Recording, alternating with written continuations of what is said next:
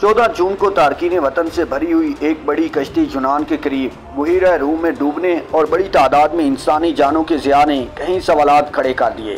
तारकिन वतन को ले जाने वाली कश्ती की निशानदेही होने के बाद यूनान के कोस्टल गार्ड्स ने मवासलाती निज़ाम और लाउड स्पीकर के ज़रिए कश्ती से रबता करने और इन्हें मदद फराम करने की पेशकश की, लेकिन इसे मुस्तरद कर दिया गया।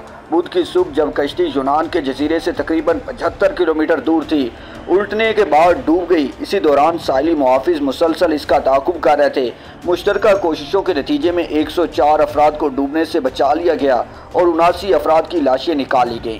हुकाम के मुताबिक कश्ती उल्टने से कबल इसकी बिजली चली गई। तारीकी की वजह से मुसाफरों में खौफ हरास और बेचैनी फैली। लोगों की धक्म पेल और भाग दौड़ के बायस कश्ती का तवासन बिगड़ने से वो उलट कर डूब गई। चुनान के हुकाम ने साने की अदालती तहकीकत का हुक्म दे दिया।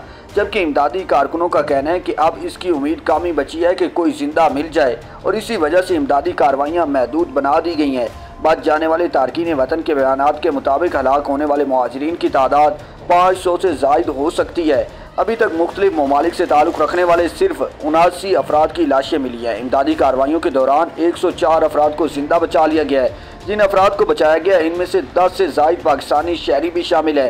पाकिस्तानी सफारत खाने के मुताबिक बचाए गए ज़्यादातर अफराद का ताल्लुक कोटली, गुजरावाला, गुजरात और शेखुपुरा से है।